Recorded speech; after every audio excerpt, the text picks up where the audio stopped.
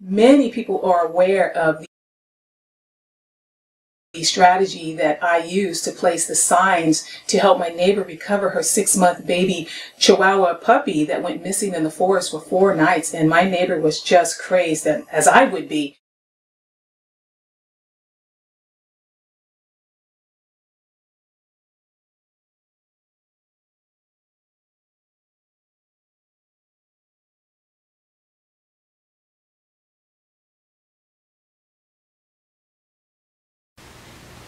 Hi, I'm Peggy. I'm with my best friend Sheila of almost 30 years. We're making this video because her message is extremely important, especially during this time.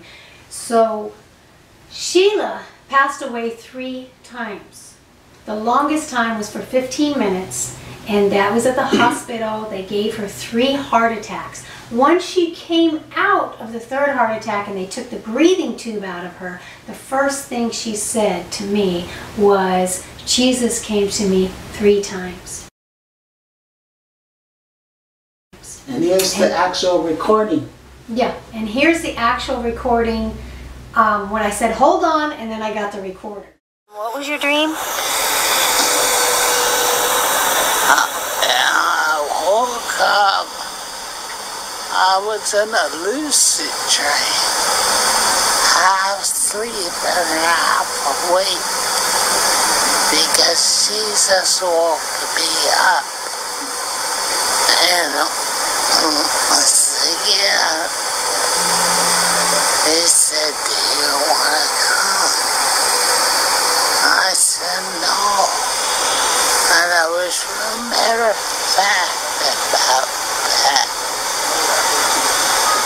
And I could tell he was disappointed.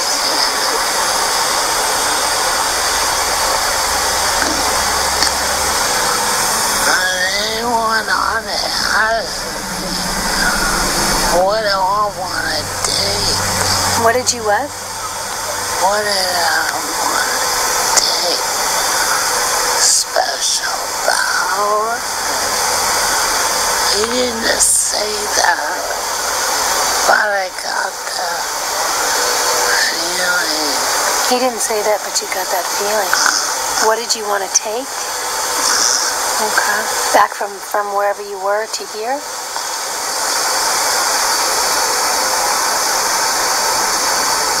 Huh? Running out of steam now. Oh, be careful with your eye sheet. You don't want to. Hmm. Careful. I'll do it. There you go. So, okay, so he asked you, what did you want to take? He didn't ask you, you had the feeling. Huh? Tell me about your dream with the lucid dream with Jesus. Uh, I know.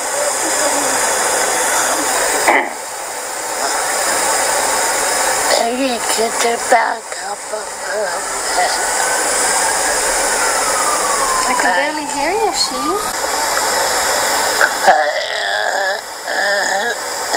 He wasn't. Last time, he was disappointed.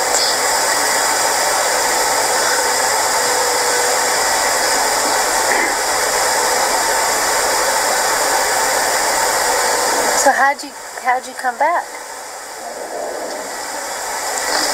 That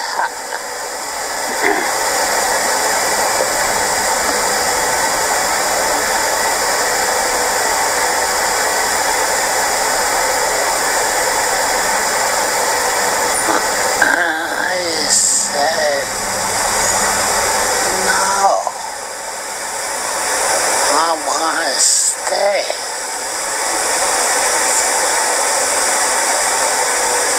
Oh, what the hell I was thinking. I started getting too about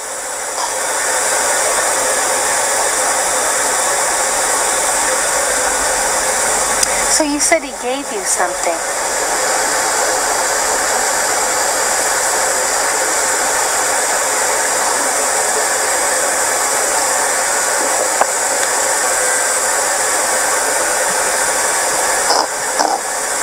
He gave you?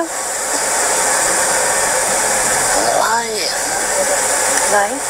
Yeah. Dear Heavenly Father, I want to thank you for joining us in this video session that we're about to have.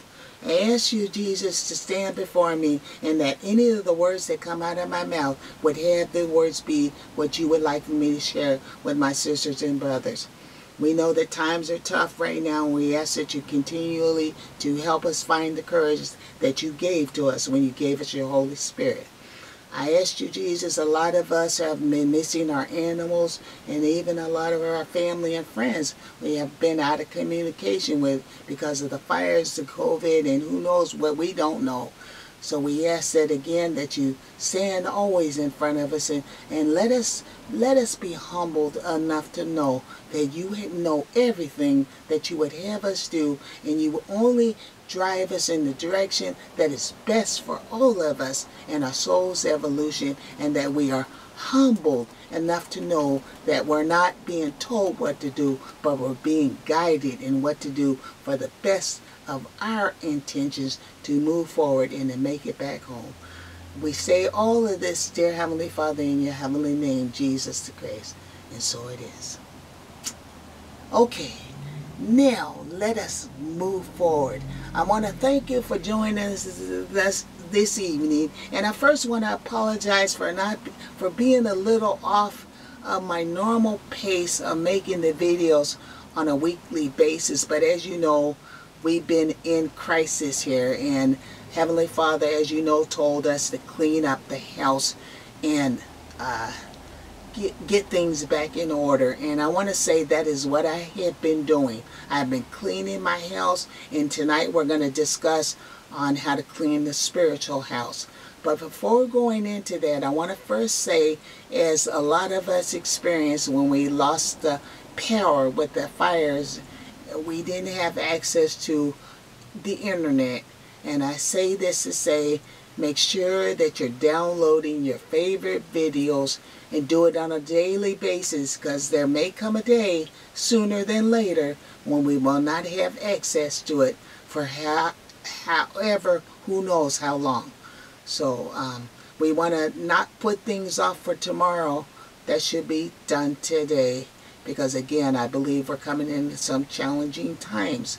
So um, as you know, my videos can be very long-winded. This is not the short-winded video channel. I hope you know that by now. And tonight is going to be especially long-winded, but not by me, but by Derek Prince, who is going to be leading the session tonight in deliverance, the topic of spiritual cleansing. And I want to say that Jesus one third of his ministry when he was walking on this earth was deliverance.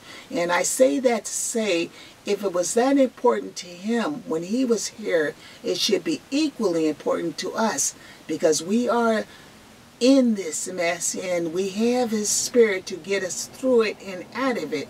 So let us mimic our Father and clean up ourselves, our physical house and our spiritual house. So uh, at first I was going to have Peggy and I share the channel and do it together, but eh, I, I could not do justice on the subject because I'm not as well learned in it and I decided that we decided to choose one of our favorite ministers and I want you to know I have lots of them. But Derek Prince I really um, I really admire his teachings and his his uh, his his teachings are really close to Jesus to Christ and that's very important to me.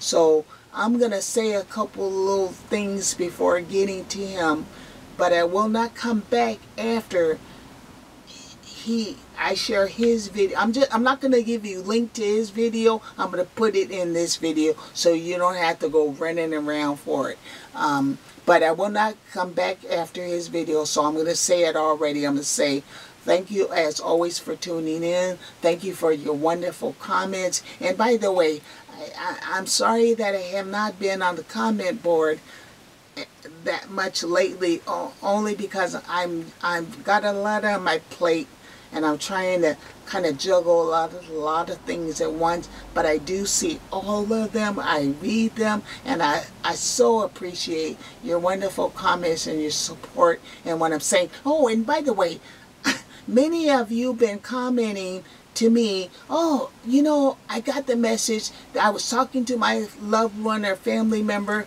about doing housekeeping, the very thing that I was talking about in video number 14.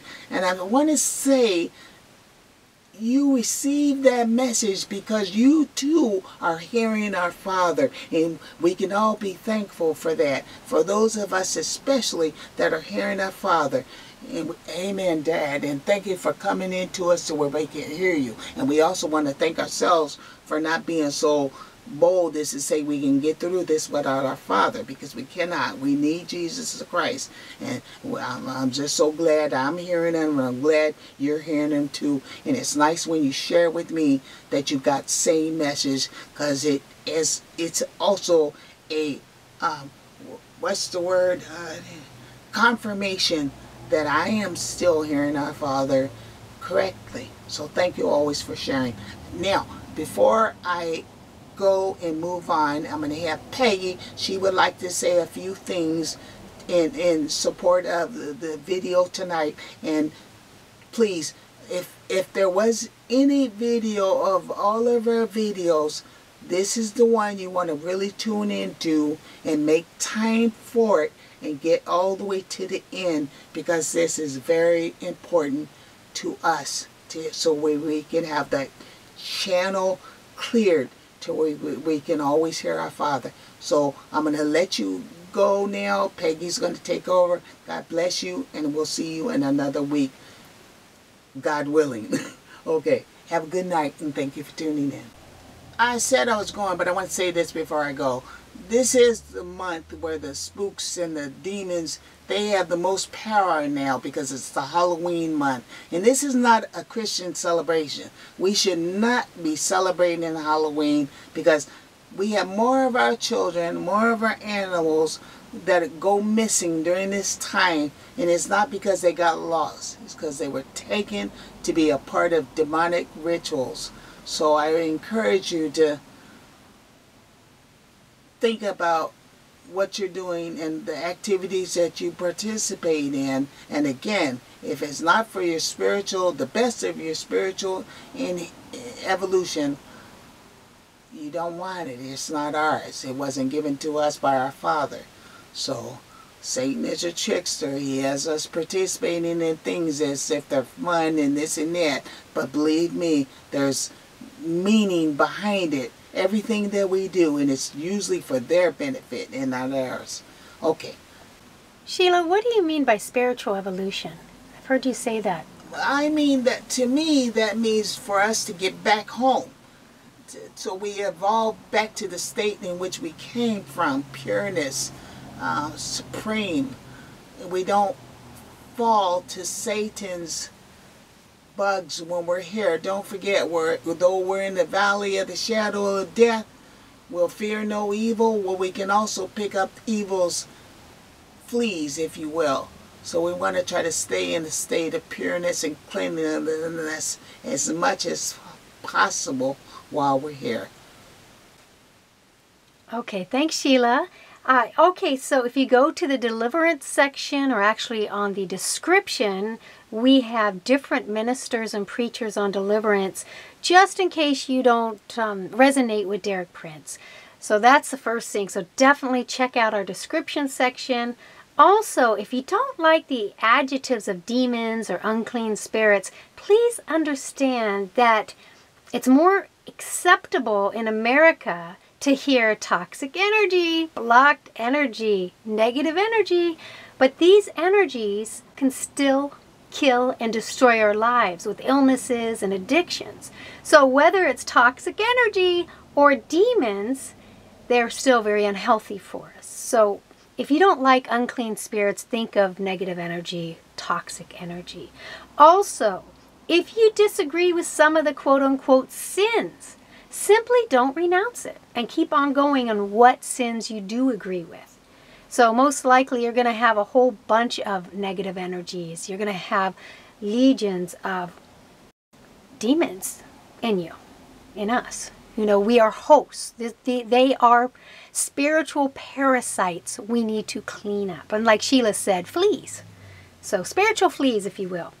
Also, if you don't agree with the preacher, their definition of a sin, just don't throw away the baby with the bathwater, is what I'm saying. Just keep on going and uh, renounce what you do agree with. And let Jesus, your walk with Jesus, reveal what you need to later renounce. Also, make sure you don't do deliverance at nighttime, only the daytime. And it's great to have a friend who not only believes in Jesus, but believes Jesus to do this with you. And that's it. I think the most important part is read the description that we have. Add something that I know I keep saying I'm I'm done, I'm done, and done. But I want to say once you finish cleaning your physical house, and once you finish doing your deliverance and cleaning your spiritual house, you want to remember to re-invite or invite for the first time Christ Jesus to be to come back and be the head of your household. Because we cleaned up the house and we want to be sure Jesus is the head of our household. And we want to be sure that we, we remember to ask him to come back and be the headship of our house. Okay, having said that, I'm done. Peggy has one more word over there. She's flagging me down. Go ahead, Peggy. Absolutely. Pray. Pray, pray, and pray. And not only that, um, after you're done, thank Jesus. Praise music. And fill your home with praise music. Fill your home with the word of Christ you know, and, and written and not to cut you off, uh-huh. but for those of us that have animals, you're going to notice your animals are going to feel better as well. Yeah. So because they live in this mess with us. Okay. Sorry about the pain.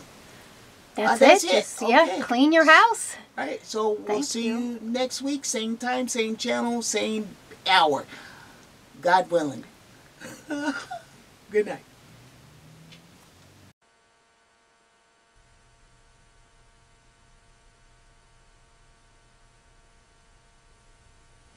1 Corinthians 15 57 only. Mm-hmm. But, but, thanks, be to God, who gives us the victory through our Lord Jesus Christ. If you believe that, join us in saying it. But, but thanks be to God, who gives us the victory through our Lord Jesus Christ. Amen. Amen. Now, my subject tonight is how to be delivered from evil spirits or demons. I preached once in a place where the pastor said, Well, you can pray for people, but don't call them demons. He was in charge, so I went along with it. But demons and evil spirits are used interchangeably in the New Testament. So I'm going to teach on whichever way you prefer it how to be delivered from demons or how to be delivered from evil spirits. But the important thing is how to be delivered. Now I'm going to try and give, in brief outline, a pretty thorough overview of this subject, which I think is one of the most neglected subjects in the contemporary church. There are a few people who go overboard on deliverance and preach about nothing but demons. The great majority of preachers simply try to behave as if they weren't there. But the truth of the matter is, they are there. Very close. Some of them in some of you. I'm going to read from Mark chapter 1, verse 23. This is the first specific recorded miracle in the earthly ministry of Jesus, and it's very significant. Mark chapter 1, verses 23 and following. There was a man in their synagogue with an unclean spirit. That's another word for an evil spirit. And he cried out, not the man, but the spirit in the man. Let us alone. What have we to do with you, Jesus of Nazareth?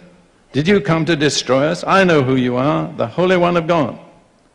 Now it's remarkable that demon knew immediately who Jesus was. It took the disciples about one and a half years to discover what the demon knew immediately. But Jesus rebuked him, saying, Come out, be quiet, or in, in Greek, be muzzled, and come out of him. Now, Jesus was not speaking to the man, he was speaking to the spirit in the man. And then it says, when the unclean spirit had convulsed him and cried out with a loud voice, he, the spirit, came out of him, the man. This is a very significant uh, example in the ministry of Jesus. He did not put the man out of the synagogue, he put the demon out of the man. Now, in many congregations today, if a man behaved like that, they'd put the man out of the church and leave the demon in the man. Jesus knew he was not dealing with the man, he knew he was dealing with the spirit in the man. It was a direct spirit to spirit contact between Jesus and the man. Then it says, they were all amazed, so that they questioned among themselves, saying, What is this? A new doctrine with power. For with authority he commands even the unclean spirits, and they obey him. This is something they had not seen before. And immediately his fame spread throughout all the region around Galilee. I want you to understand that initially Jesus was known amongst his people as the man who can cast out evil spirits.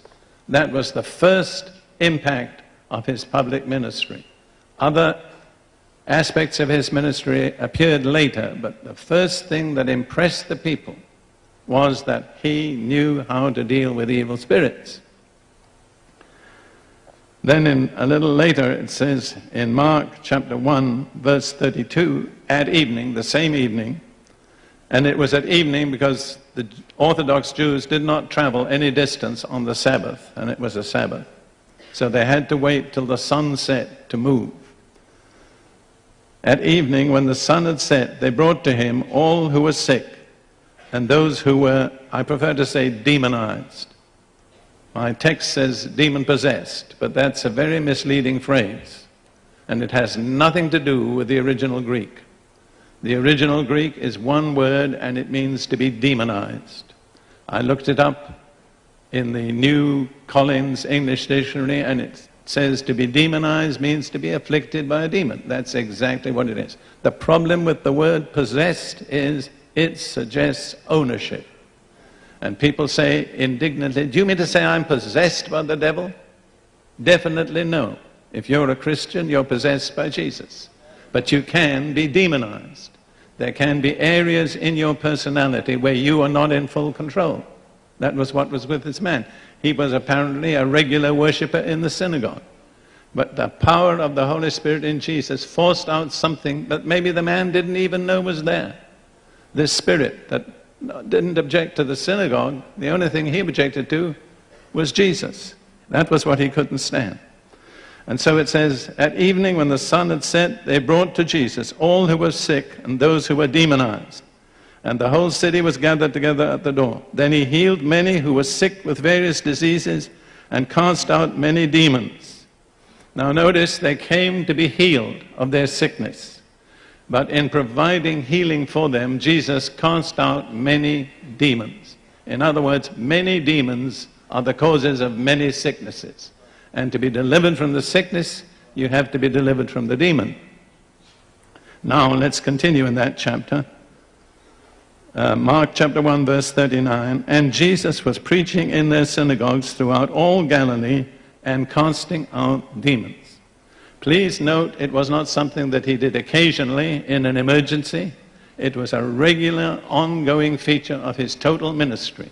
Everywhere he preached, he cast out demons. The two things went together. And Jesus never separated preaching from casting out demons and from healing. And one of the disasters in the contemporary church is those things have got separated. And so a lot of people who need deliverance don't get it. And a lot of people who need healing don't get it. Now we'll look just one other passage uh, on this ministry, which is in Luke 4 41. This is the same event described by Luke. Luke 4, verse 40 and 41. When the sun was setting, all those who had any that were sick with various diseases brought them to him. And he laid his hands on every one of them and healed them. And demons also came out of many, crying out and saying, You are the Christ, the Son of God. Notice again that Jesus never separated healing from casting out demons, because demons are the cause of many sicknesses, sometimes directly and sometimes indirectly by creating attitudes in people which prevent them from receiving healing by faith. Then we look on in Luke 13, verses 11 and following. There was a woman who had a spirit of infirmity 18 years and was bent over and could in no wise raise herself up. Notice, it was apparently a totally physical condition, but it was caused by an evil spirit of infirmity. And if you read the record, Jesus did not pray for healing, he dealt with the spirit of infirmity. And then at the end he said, Ought not this woman, being a daughter of Abraham, who Satan has bound 18 years, be released from this bond on the Sabbath day? Notice Jesus said, Satan has bound this woman in a condition of physical infirmity for 18 years. Apparently, the situation was totally physical, but in actual fact, the real cause was a spirit of infirmity. When the spirit went out, that woman who'd been bent double for 18 years was able to stand up. And then let's look at what Jesus said a little later in Luke 13, verse 32. He said, Go tell that fox, and that was Herod, Behold, I cast out demons and perform cures Today and tomorrow and the third day I shall be perfected. The third day is a Hebraism for the day following. Today, tomorrow, the third day. How did he begin? By doing cures and casting out demons. How did he end? By doing cures and casting out demons. You know why he did it that way? Because it was the right way. He never had to improve. He started right, he finished right. He began that way, he ended that way. All we can do is do it the way Jesus did. We do not have to improve on his methods. Now I want you to see how he equipped his disciples. And we'll turn to Matthew chapter 10. And let me say while I'm looking for the passage, Jesus never sent anybody out to preach the gospel without specifically instructing and equipping them to deal with demons. It is not scriptural to send people out in evangelism without equipping them to deal with evil spirits. This is how he dealt with the first 12 apostles. Matthew chapter 10, verse 1. And when he had called his 12 disciples to him, he gave them power over unclean spirits to cast them out and to heal all kinds of sickness and all kinds of disease. Notice the first authority he gave them was not to heal sickness, but to cast out evil spirits. And then these were the instructions he gave them. Verse 7 As you go, preach, saying, The kingdom of heaven is at hand. Don't just say it, demonstrate it. Heal the sick, cleanse the lepers, raise the dead, cast out demons. That were their marching orders. You say, Brother Prince, have you ever seen the dead raised? Yes, I have. I've seen two people raised from the dead in Kenya when I was a missionary there. He is still doing the same things today. Why should we change? We cannot improve on what Jesus did. Let's make it our aim to do it as nearly as possible as he did it. And then we come to Luke chapter 10, where he sent out 70 others to prepare the way before him. It says in verse 1 After these things, the Lord appointed 70 others also, and sent them out two by two before his face into every city and place where he himself was about to go. Now, we don't get the instructions that he gave them, but we do get the comment that they made when they returned. Because in verse 17 of that chapter, it says, Then the 70 returned with joy, saying, Lord, even the demons are subject to us in your name. What was it impressed them most? The fact that they had authority over demons. If you believe the New Testament, I want you to say that with me. Lord, even the demons are subject to us in your name. If you don't believe it, don't say it. But this is what I want you to say. Are you ready? Lord, even the demons are subject to us in your name. Amen. All right, now then, we come to what they call the Great Commission at the end of his ministry when he was sending out the people who were to evangelize the whole world in Mark 16 and verse 15. He said to them, Go into all the world and preach the gospel to every creature. And let me say that order has never been retracted. And then he says, He who believes and is baptized shall be saved, but he who does not believe will be condemned. Let me say that in the, in the New Testament, no salvation is offered to anybody who believes without being baptized. You cannot find a single example in the New Testament. You may say, Well, I believe, so I'm saying, Well, that's your risk. But I wouldn't take that risk because Jesus said, He who believes and is baptized shall be saved. Amen. And then he said, Listen, these signs will follow those who believe. In my name they will cast out demons. The first of the five signs is casting out demons. We hear a lot about speaking with new tongues, but that comes second. Laying hands on the sick and healing comes fifth. The first sign is they will cast out demons in my name. Why shouldn't we do it? Can we improve on his methods? Matthew 28, verse 20, the same commission at the end of that chapter. He says, Go and make disciples of all nations, teaching them to observe all things that I have taught you. Well, amongst the all things that Jesus taught them was to cast out demons. So he said, when you make disciples, teach them to cast out demons. And when they make disciples, teach them to cast out demons. And had the church obeyed, we'd have had the same process going on for 19, 19 centuries. Unfortunately, the church tried to improve and made a mess of it. Now, I want to point out to you that there are two kingdoms, two spiritual kingdoms. And when we come into this ministry of dealing with demons, the two kingdoms are brought right out into the open. In Matthew chapter 12, verses 26 through 28, Jesus had been accused of casting out demons by being allied with Beelzebub, that is Satan. This is his answer. If Satan casts out Satan, he is divided against himself. How then will his kingdom stand? And if I cast out demons by Beelzebub, by whom do your sons cast them out? Therefore they shall be your judges.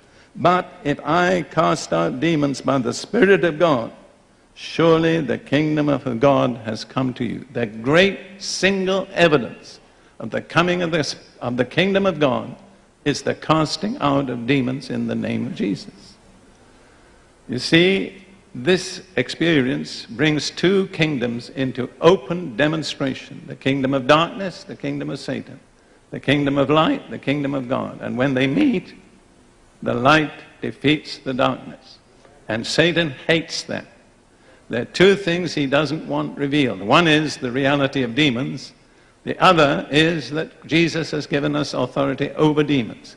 Because this reveals the clash between the two kingdoms and it reveals the supremacy and the victory of the kingdom of Jesus Christ over the kingdom of darkness. And Satan has done a lot of work in the church for many centuries trying to suppress the revelation of this message because it reveals his kingdom, brings it out into the open, and demonstrates his defeat. And he doesn't want that. He's afraid of it. Actually, of all the miracles that Jesus did, all of them but one were previewed in the Old Testament raising the dead, healing the sick, healing multitudes, miraculous provision, all of them. There's one miracle that's never recorded in the, New, in the Old Testament. You know what it is? Casting out demons. That's why it is the distinctive mark that the kingdom of God has come. Now, what sort of things are demons or evil or unclean spirits? Let me say that the Bible does not give a clear account of where they come from. There are different theories. Some people believe they're fallen angels. I don't. I've dealt with so many demons that behaved in so many ways that were totally uncharacteristic of angels. In my opinion, for an angel to be encased in a human body would be a prison. But that's just my opinion. I could be wrong. There's no absolute scriptural revelation. But the, the, the, New Testament does tell us one thing about demons. It doesn't tell us where they come from, but it does tell us how to get rid of them. That's what's important.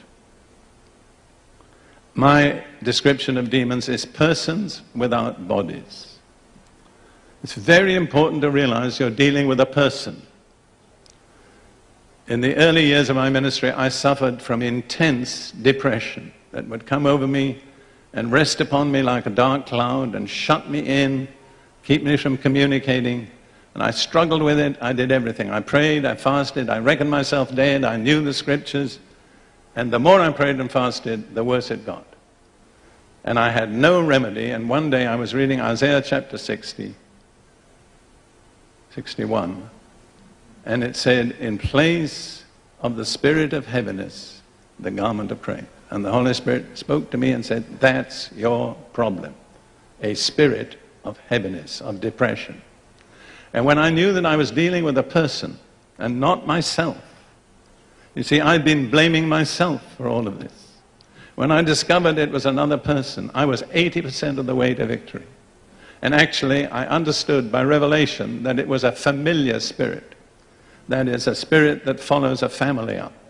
And I realized the same spirit had affected my father for many years. So all I needed was one other scripture. Let me share it with you. Joel 2:32. It shall come to pass that whoever calls on the name of the Lord shall be delivered. I called on the name of Jesus and I was delivered. This thing, it was like a heavenly vacuum cleaner. It came down over my shoulders and just sucked this thing out. And I had struggled with it for years until I recognized it was not myself. It was another person seeking to afflict me. And I want you to understand when you once realize you're dealing with a person who is not yourself, you're about 80% of the way to deliverance. Now, as I understand it, and I, let me say I've been dealing with demons for more than 30 years. I first got involved in 1963. Some people said, well, Brother Prince will soon give it up. He'll change his doctrine. I have to say, at the age of 80, I haven't given it up, and I haven't changed my doctrine. And I'll tell you one reason it's scriptural, and number two, it works. I want to offer you three objectives that demons have. Number one, to torment and torture. They are the torturers. Number two, to keep you from knowing Christ as Savior. And number three, if you come to know Christ as Savior, then to keep you from serving Him effectively. Now we have to distinguish between two things what's called the flesh and demons or evil spirits. The flesh is the old carnal nature that every one of us have inherited from Adam. All of us are descendants from Adam. And Adam did not beget any children until he was a rebel. And every descendant of Adam has the nature of a rebel in him. That's the old man. Now, the other thing that we deal with is evil spirits. And it's important to know what you're dealing with because the remedies are completely different. See, I was dealing with the spirit of heaviness and I was trying to deal with it as if it were the flesh. I was trying to crucify it because that's the remedy for the flesh. But you can't crucify a demon, nor can you cast out the flesh. You have to know what you're dealing with. A man came to me once and he said, Brother Prince, I want you to cast this demon out of me. I said, What's your problem? And he began to tell, tell, me his difficulty in relating to his wife. I said, I don't think I can cast that out. It's not a demon, it's your fleshly nature you have to crucify it. So we need to know, am I dealing with my flesh or am I dealing with a demon? Now I'm going to try to give you some directions. some ways of finding out. You see, the same word in both Hebrew and Greek is the word for spirit, breath, and wind. And uh, none of us have ever seen the wind. Do you realize that? We all know the wind is real. Why? Because we've seen what it does. We've seen it blow the clouds across the sky. We've seen the trees bend in the wind. We've seen the rain come horizontally across the horizon. We've seen the dust clouds rise in the street. We've seen people's hats come off. We know the wind is blowing. How do we know it? Have we seen the wind? No. We've seen what the wind does. It's the same with demons. We do not normally see them. Sometimes by special revelation people do. But normally they cannot be perceived by human senses. How do we know they're there? By what they do. And I will give you a little list of characteristic activities of demons. Number one, they entice. There's not a single person here above the age of six who has not at some time been enticed to do evil. Very often it comes in words. Well, you see that nice gold pencil there? Pick it up. Nobody will know. If you dropped your pencil, they would do it to you. Anything that comes to you in words comes from a person. So you know that enticement comes from a person, a demon. Number two, they harass, or I think we say in English, harass. I'm bilingual and I have to remember which language I'm speaking. Anyhow, harass or harass, that's what they do. I have this little example in my mind. It's just not directly based on any single experience. There's this businessman, he's had a terrible day in the office. Everything went wrong, the air conditioning failed, his secretary didn't type his letters right. And then he got in the car to go home and he got in a jam in the motorway and he spent an hour sitting in his car amidst all the fumes. And finally, when he gets home, his wife hasn't got supper ready, and the children are running around screaming. And at that moment, as they say in America, he blows his stack. He loses control. He begins to shout and scream.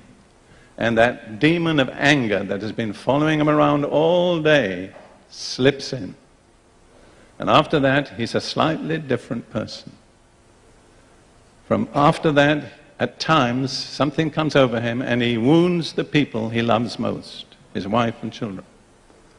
And his wife looks at him from time to time and sees something in his eyes she never saw before. And then he's repentant and penitent and he says, I'm sorry, I don't know what made me do it. Well, we do know what made him do it. It was the demon of anger, see? It had harassed him or harassed him, and in the moment of weakness, slipped in. Then demons torment. They are the tormentors. They torment spiritually. With the suggestion, God doesn't love you, you're not really saved. That's a common form of torment. They torment emotionally with fear. They torment physically with all sorts of horrible things like arthritis and so on. They are the tormentors. And Jesus said, listen, if you don't forgive your fellow believer, God will deliver you to the tormentors. Who are they? The demons. A lot of Christians are in the hands of demons because they've refused to forgive some other person. Then demons compel. They make us do things we don't really want to do. That some of the things they compel you to do are really comical. I had a letter after a deliverance service from a woman aged 25, and she said, for the first week in my life that I can remember, I haven't been biting my nails. What made her bite her nails? A demon. Can you believe that? I know it's true. And then demons enslave. They make you slaves. You see, people can sin and stop sinning if they decide. For instance, a man may get drunk and then decide I won't get drunk, and he doesn't drink anymore. He's sinned, but he's not enslaved. But an alcoholic is a man who can't stop drinking. He is enslaved. Now, if you put compel and enslave together, you get the word addiction. And in my personal opinion, almost every addiction of any kind is demonic. And there are a lot of respectable addictions. Some very unrespectable, some respectable. But if you are addicted, you have a problem. And your problem, I think, in 90% of the cases, is a demon. Demons defile. They make us feel dirty and unclean.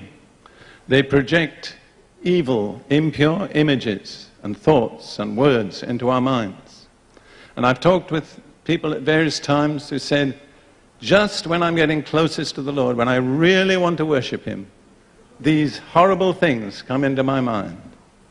And I said, you can be sure it's a demon. Anything that wants to keep you from worshiping God is a demon. Then demons deceive. They are behind all forms of religious deception. Paul said in 1 Timothy chapter 4, in the last times, some will depart from the faith, that's Christians, giving heed to deceiving spirits and doctrines of demons. And believe me, my dear brothers and sisters, there are a lot of different deceiving spirits with doctrines that are demonic, and they're very near to all of us. Finally, demons make people weak or sick or tired or kill them. I dealt with a woman once, this is a remarkable situation, 72 different demons came out of her. She was a respectable woman, she was a registered nurse. She was charismatic, Pentecostal, but she had 72 demons. I didn't count them, but there was a woman making a little note of the names. And in the middle of this, it lasted five hours. She said, Oh, I'm so tired. I can't go on. I can't take any more. And I thought, well, poor woman, she really is tired. And then the Lord showed me, that's not the woman, that's the demon. I said, you spirit of tiredness, come out of this woman. And it said, not the woman, it said, that's right, she's always tired. She's tired when she gets up, she's tired when she's going to bed. She's too tired to read the Bible, too tired to pray. When that spirit of tiredness came out of her, she was no longer tired. We finished the deliverance. Demons make you go to sleep. There's a spirit of slumber. It's referred to both in the Old and the New Testament. Have you ever considered that you can sit up till 2 a.m. watching something that you probably shouldn't be watching on the television? But if you decide to read your Bible, you go to sleep in 10 minutes. Is that right? That's not natural. There's something there that doesn't mind your watching television, in fact, probably wants you to watch it, but does mind your reading the Bible or praying. All right, those are some activities of demons. Now, the main areas in which they operate. I have to give this in a very condensed form, you understand? I'm writing a book about it. Please pray for me. it's not an easy book to write. I discovered about 10 different kinds of spirits or demons mentioned in the Old Testament and about 20 in the New. That's 30. But that's just a little sampling. There are hundreds of different kinds of demons. The main area that they affect, I believe, is emotions and attitudes. And behind every negative emotion and attitude, there is a corresponding demon. That doesn't mean you've got the demon, but that means that the demon's there are trying to get you. For instance, you can get angry, and it's not a demon. It's just you, it's your flesh. But if you get angry and can't control yourself, and get angry when you don't want to get angry, that's a demon. Let me give you a list of some of the commonest names that I've dealt with. And another thing about demons is they operate in gangs. When one gets in, it opens the door for the next. And if you find certain demons, you can always look for their friends. Let's take one pride, rebellion. Rebellion almost always follows pride. And then witchcraft or the occult. Because 1 Samuel 15, verse 23 says, rebellion is as the sin of witchcraft. Wherever you find rebellion, look for witchcraft. The great historical example of this is the young people of the United States in the 1960s. Almost a whole generation went into rebellion, and almost every one of them ended in the occult. Because rebellion is as the sin of witchcraft. Now, I thank God I saw scores of them gloriously saved and delivered. But I learned the lesson. Then, one of the commonest spirits is the spirit of fear. Paul says, God has not given us a spirit of fear, so it doesn't come from God. But fear is something that we easily, all of us, give way to. And it's followed by other things like rejection. One of the commonest emotional problems in the church and in the world today is rejection. It's a sense of feeling unworthy, unwanted. Nobody really loves me. I'm on the outside looking in. And I would say, in my observation, at least 20% of professing Christians today that I've met with need deliverance from rejection. It's really due to the breakup of the family. Because the thing that gives a child the sense of security is the love and the care of a father. And where that is missing, there's something that cries out, I don't know who I am. I don't feel secure. I don't know that people really love me. I want to tell you one thing. Jesus really loves you. But the devil will do his best to convince you it's true of everybody else but not you. Is that right? All right. Then another common one. And here's a whole gang in the order they usually come in resentment, unforgiveness, anger, hatred, violence, and murder. And if the gang goes all the way, murder will be there. Now remember, murder doesn't mean you've committed murder, it comes in to make you commit murder. And the Bible says, He who hates his brother is a murderer. Not will be a murderer, but is a murderer. And then this is the, uh, the opposite. Some people react, what do I say, aggressively. Some people react passively. I can't take any more. And so we get this little list. Disappointment. And that is a powerful spirit. Disappointment. If you've had a serious disappointment in your life, you need to check whether a spirit of disappointment has entered you. Disappointment, loneliness. Nobody loves me. I'm all on my own. Misery, depression, self destruction, or suicide. And have you noticed in our contemporary culture how powerful the forces of self destruction are? People deliberately destroying themselves. That's just a little glimpse I could speak for two hours on that whole area without covering it all. The next area is the mind. I think the mind is the greatest battlefield in the world today. Yes. Much greater than what's going on in Yugoslavia or the Middle East. It goes on in people's minds. And Satan has a lot of demons with which he assails the mind. Number one, unbelief. Let's renounce unbelief right now, all of us together. Lord, we renounce unbelief. Say that. We renounce unbelief. We are believers. unbelief has no place in us. That's wonderful. All right, then doubt. Doubt is a mental demon. I had a very interesting experience years ago a young theological student from, I think, Yale, I forget which, one of the top American universities, heard about my ministry of deliverance and he got interested. So he came to a camp where I was teaching. But before he came, he made up his mind uh, nobody's going to change me. I'll leave that camp the same way I came. So he came, he watched, he saw what happened, but he was true to his determination.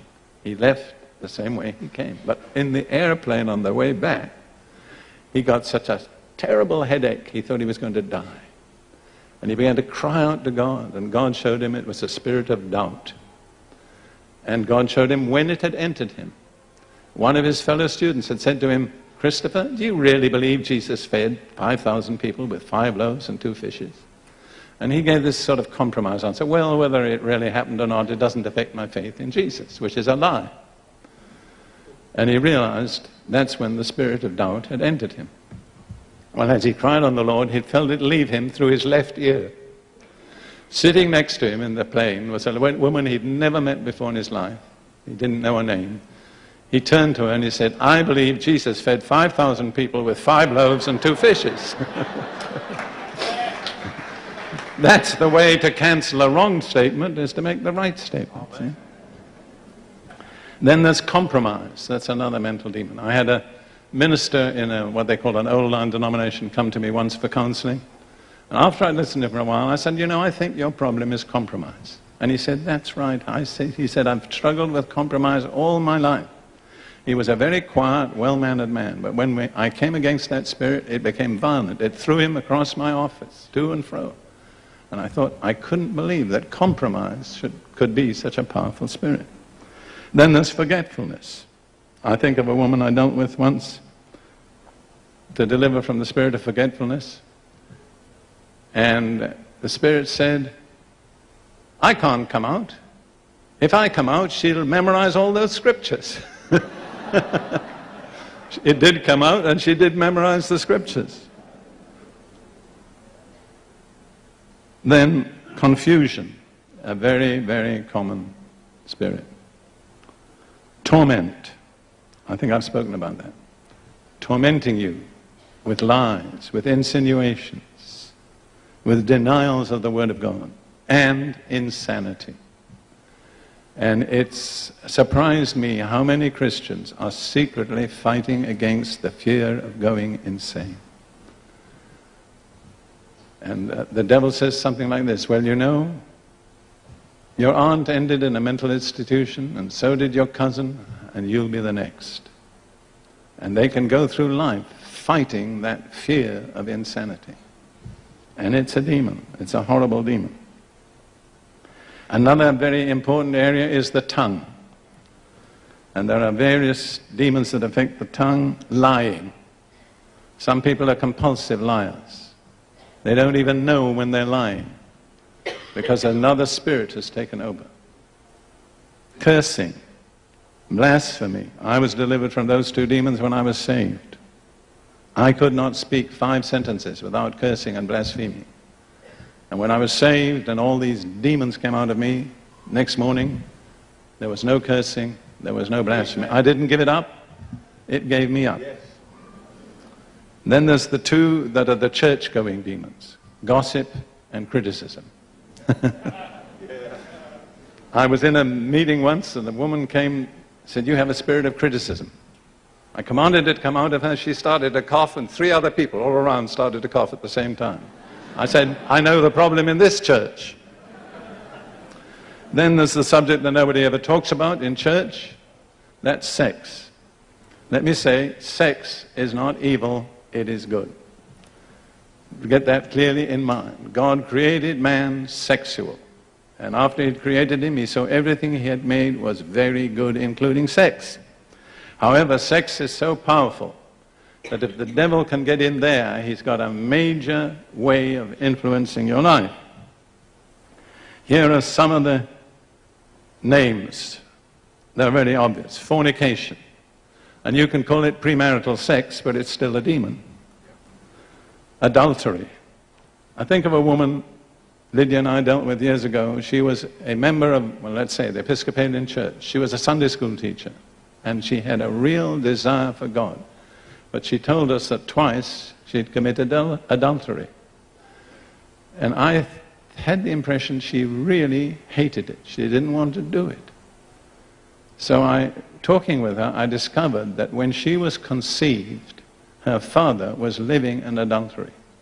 And the result was she was born with the spirit of adultery in her. Well, she got delivered. And then she said, Do you think I have to tell my husband? I said, That's your decision, not mine. But if you want God's real blessing on your marriage, you have to be honest with one another. Well, she said, he's a green beret. I don't think you people know that. I think they call it uh, the special force, you know, these especially tough soldiers.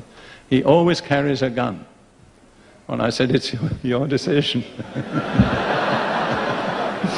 I, we didn't hear any more for a while, and then we heard she'd told her husband he'd forgiven her, their marriage was better than it had ever been.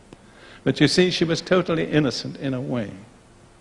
And that's why deliverance is so important, because a lot of people suffer who are innocent. They're suffering as a result of sins of others. We need to offer them deliverance. Then there's masturbation. Some people say masturbation is natural. I don't believe that, but I'm not really concerned about that. Let me tell you this. If you have a problem with masturbation and you can't overcome it, and you hate yourself for doing it, and yet you go on doing it, it is a demon. And I can say without exaggeration, I've seen hundreds of people delivered from the spirit of masturbation. And let me tell you now, so I don't embarrass you later, it usually comes out through the fingers. And I've had scores of people say to me, Brother Prince, I don't know what's wrong with me. My fingers are going stiff, they're getting numb, they're bending backwards, they're tingling. I say, I can tell you your problem. It's masturbation. And listen, it's a very stubborn spirit. So if you want to get it out, you've got to be determined. Shake it out of your fingers. Go on until it's not there any longer. And plead the blood of Jesus against it. Now, if you're happy masturbating, don't let me spoil your happiness. But if you're a slave to it, as millions of people are, then I want to tell you, you can be delivered.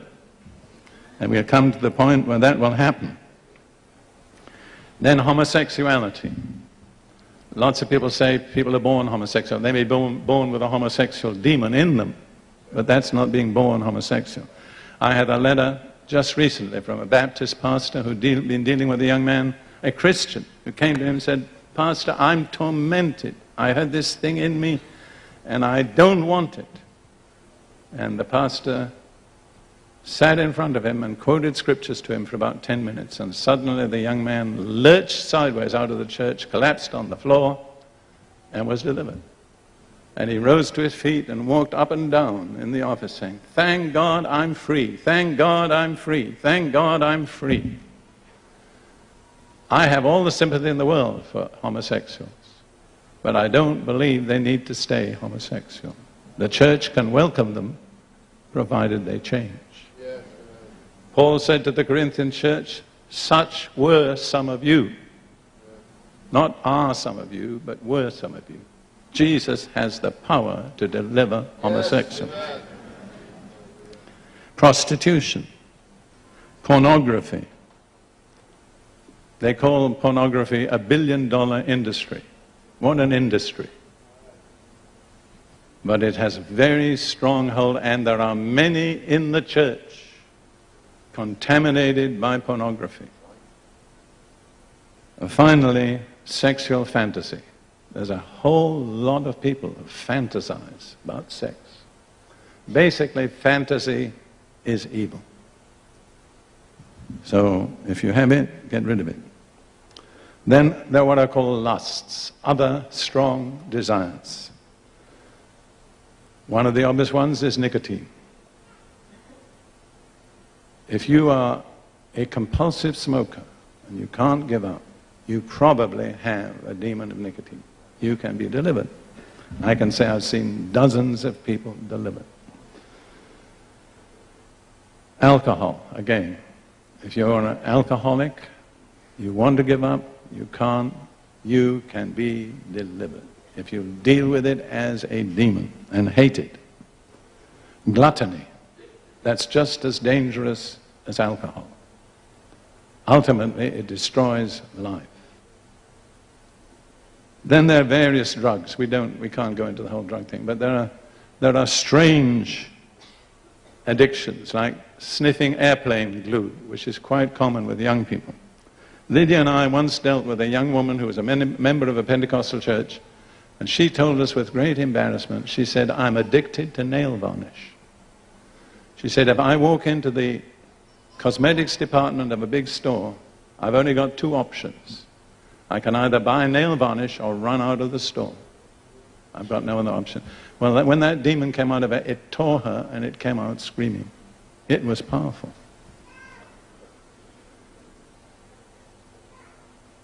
Now, many addictions are branches that grow on a bigger branch. So if you're going to deal with the addiction, you probably have to deal with the bigger branch. The bigger branch is usually frustration. When people are frustrated, they turn to something for consolation. Drink, food, who knows what, drugs. So it's not enough in many cases to deal with the addiction, you have to deal with the frustration. Let me give you a simple example based on experience. You've got two women, each of whom has a husband who's unfaithful, runs around, spends too much money, and doesn't show much love for his wife. So they're both frustrated. One of them is an Anglican.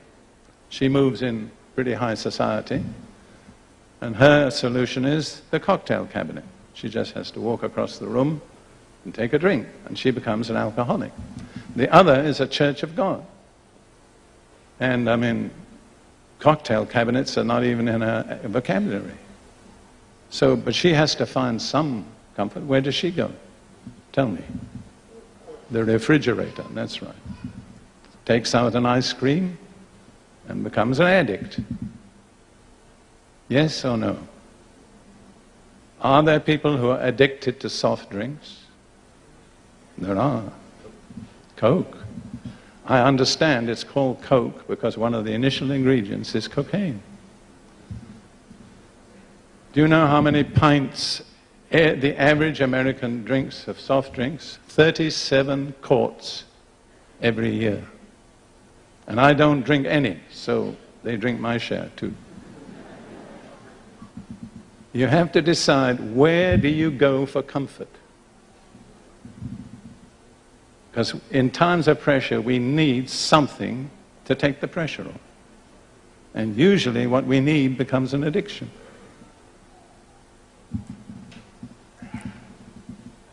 Was a strange silence. All right, then there's the occult, a major area. I think 90% of people in Britain today are involved in the occult, and most of them don't know it. I couldn't give you a list, but let me just tell you one thing. The New Age is a kind of catalogue of the occult. And it's not new. They all go back for thousands of years. But anything, let me say it this way, there are many ways into the supernatural. But there's only one way that leads into God's supernatural. That is Jesus. Jesus said, I am the door. By me, if you enter in. If you get into the supernatural any other way, and I did myself, before I was saved, I tried to become a yogi.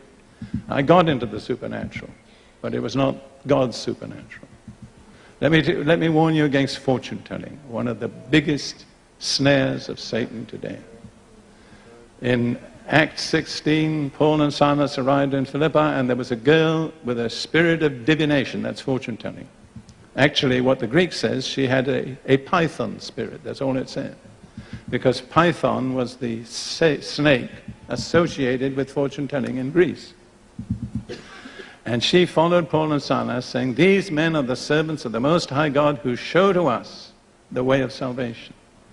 Remarkable. Every word she said was true, and she was the first person in Philippi to identify the apostles.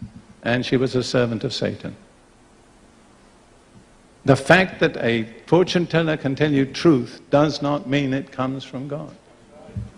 My wife has permitted me to tell this. Before she was saved, she was recommended by somebody to go to a fortune teller, a woman.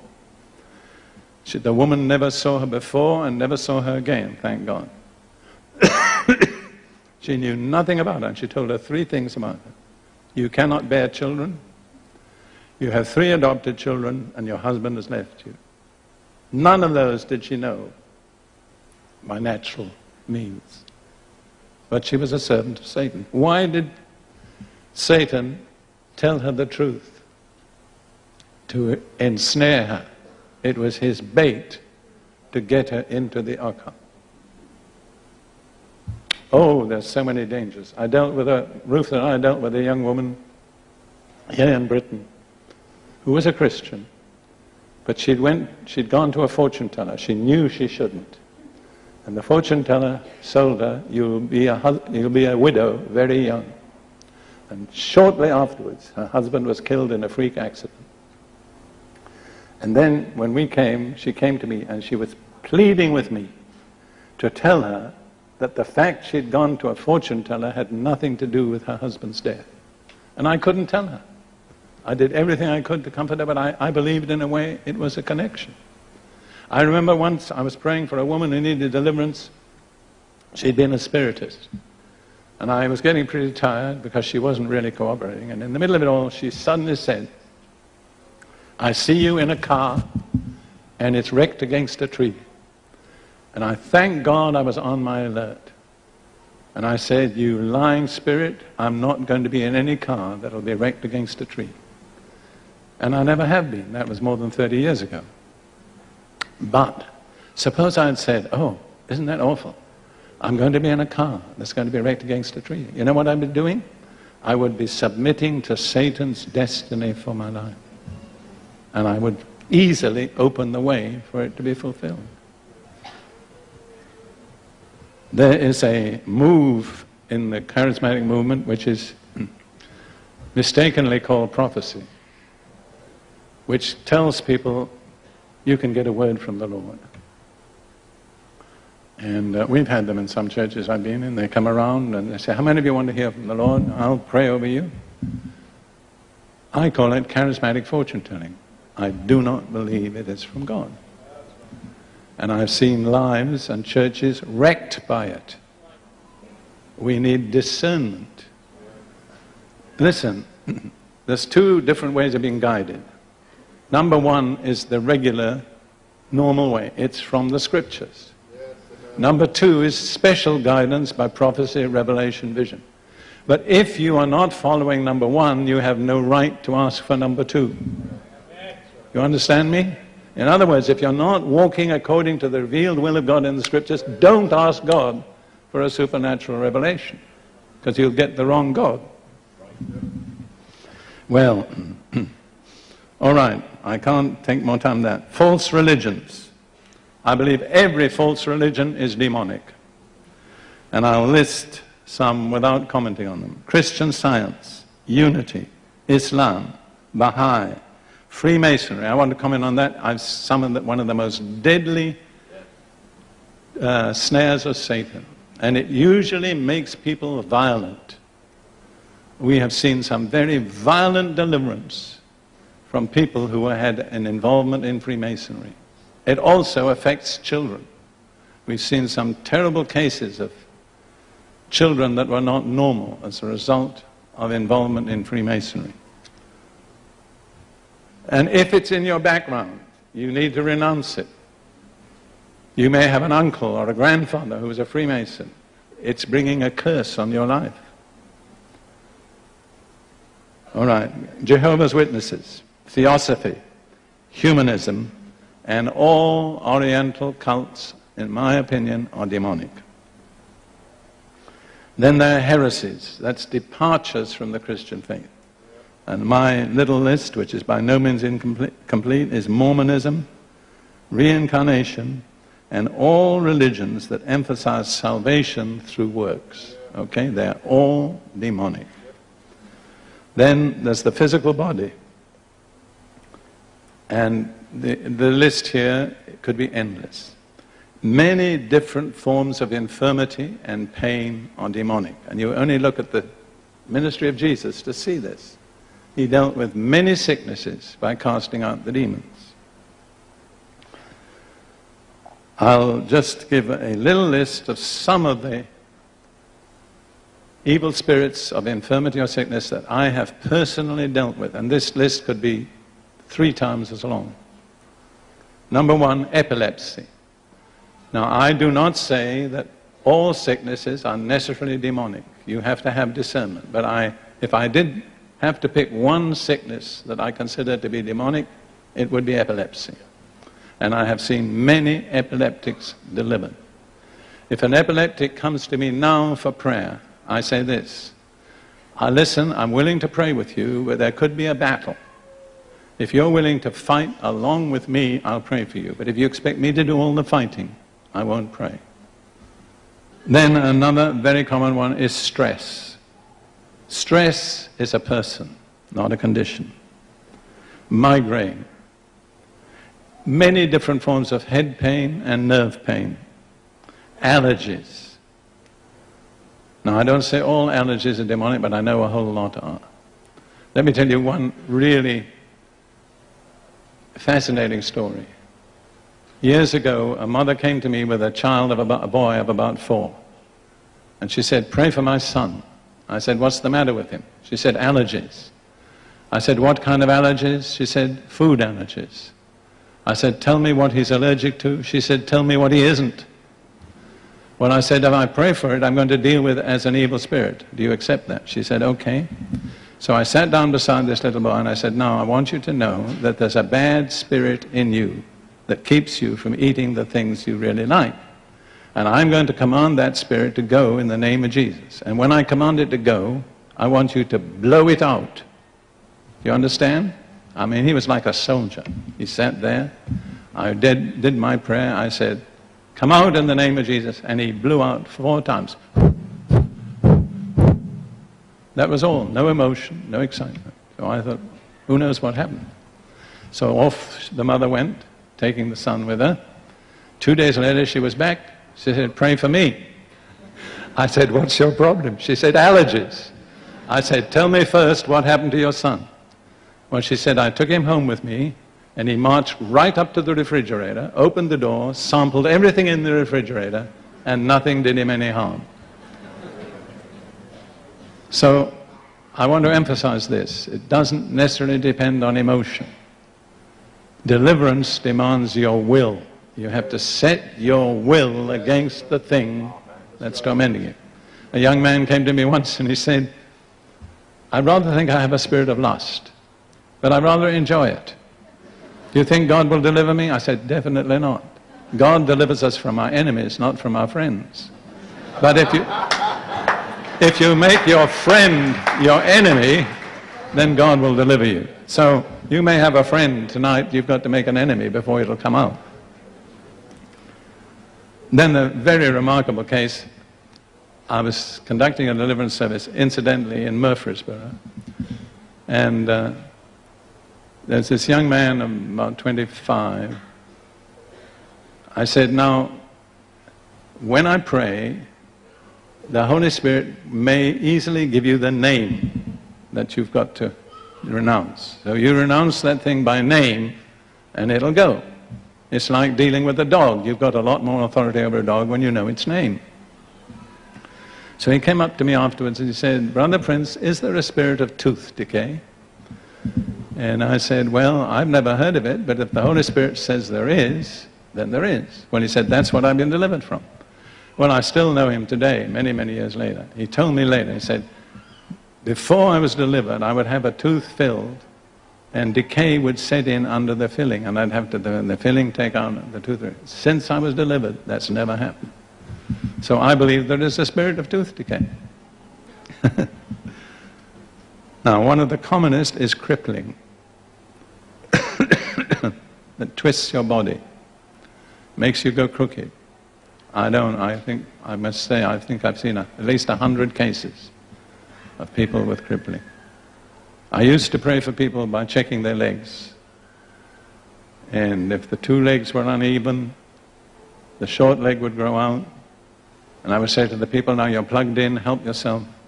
And I get people still coming to me today. I got a man just the other day came and said, my wife was delivered when you lengthened her leg. She was delivered from back pain. She's never had any more back pain ever since. But many times when I did that and Ruth was with me, we would see this spirit begin to do this. And the legs would begin to move. And we had discovered it was a spirit of crippling that would twist the body. And we had to come against it. I'm sure there are some here. Then I've talked about the spirit of sleep, so we don't need to go into that. Insomnia, the opposite. And then one of the commonest is the spirit of death. I can say, Ruth and I have seen hundreds of people delivered from the spirit of death. Obviously, the spirit of death doesn't come in because you're dead. The spirit of death comes in to make you die. And remember, Satan is a murderer. And he kills physically. And one of the commonest spirits that he uses is the spirit of death. And there are many ways it can come in. You can just get weary with life and say, I wish I were dead. What's the good of living? I might as well be dead. You know what you're doing? You're inviting the spirit of death. And it doesn't need many invitations. Or you may have been through a serious illness or surgery. And especially when you're under an anesthetic, spirit of death can enter. One of the first dramatic deliverances I dealt with was a woman that Lydia and I prayed with for five hours. And various spirits, I mean, I'd never seen this happen before, I was totally new to it. Various spirits manifested themselves, named themselves. And I'm not saying I did the right thing, but when I think the sixth spirit that named itself was death. So I said to myself, Death, is that all right? And I thought, yes. Revelation chapter 6, death is a person not just a condition. So I said, When did you enter into this woman? And it answered, Three and a half years ago when she nearly died on the operating table. I discovered later that she was not aware of anything she was saying at that time. Her own personality was totally bypassed. So later I said, Did you ever have a serious operation? She said, Yes, three and a half years ago. I nearly died on the operating table. You see, it's a moment of emotional or physical weakness. I talked to a doctor once in America who had his own clinic. And I'd been teaching about this, and he said, You've helped me to understand something. Because he said, We have patients from time to time who die without any adequate physical cause. And I realize the spirit of death has killed them. One other spirit that we've dealt with very commonly is arthritis. Now, please understand, I'm not saying everybody who has arthritis has a demon. That's why we have the gift of discernment. But in South Africa, a good many years ago, I was conducting a, what do they call it, a seminar on deliverance. There were about 1,000 people present. We called people forward for prayer, and a lady came forward, I said, What's your problem? She said, Arthritis. I said, I'm going to deal with it as a spirit. We prayed against the spirit. She was delivered and healed. Well, I thought I'm never going to have time to pray individually for all the people who have arthritis. and there's a spirit of faith here. So I said, all of you who have arthritis anywhere in the auditorium, stand up. And about 30 people stood all over the auditorium. I said, now I'm going to command that spirit of arthritis to go from each one of you. And when I do, you let it go. And I said, then I did, I prayed it. Now I said, I don't want you to sit down until you're free from pain. Remain standing. And after about 20 minutes, every one of those 30 persons had sat down. The spirit of arthritis had left them. And later, traveling in South Africa, we met several of them and who confirmed that they'd been healed. Now, I'm not saying that everybody who has arthritis has a demon. On the other hand, it's just about as typical a demonstration of what demons do as you could wish for. They torture, they torment, they twist. All right, now where are we? How demons come in. I've got to do this very quickly. How are we doing for time? Just about nine o'clock, so all right. I've got a special preacher's watch, you see.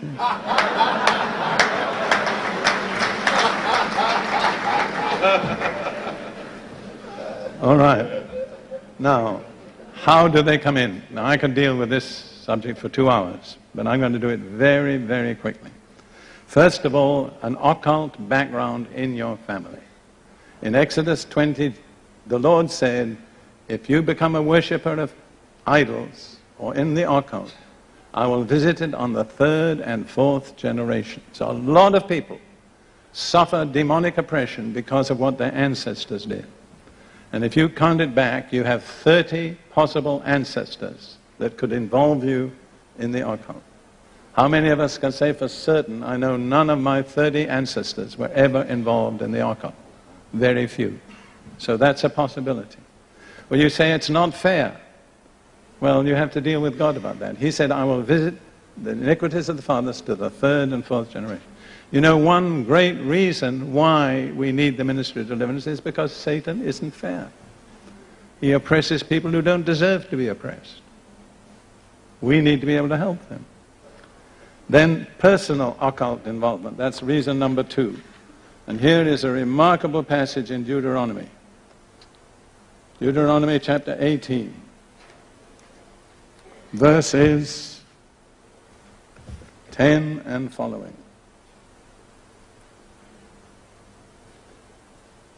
There shall not be found among you anyone who makes his son or his daughter pass through the fire, that is, offering your child as a living sacrifice to the Lord to be burned on the altar of Moloch. Now notice the other things that are included with that in same verse. You might say, well, I'll never offer my child in sacrifice. But just let's look at the other things. Nor shall there be one who practices witchcraft, or a soothsayer, or one who interprets omens, or a sorcerer. Basically, those are different aspects of fortune telling. So, fortune telling is put in the same category with offering your children to God in a fire. Okay? You see, I've been forced to realize this through writing this book. Millions of Christians are involved in fortune telling one way or another, and they don't realize what God thinks about it. God hates it intensely. It doesn't mean He hates you, but He hates what you're doing. All right, or one who conjures spells, or a medium, or a spiritist. Those we'd all call spiritism or one who calls up the dead. All those are different aspects of Spiritism. As far as God's concerned, that's the same as offering your children to sa- in sacrifice through the fire. For all who do these things are abomination to the Lord. Did you hear that? All who do these things are abomination to the Lord.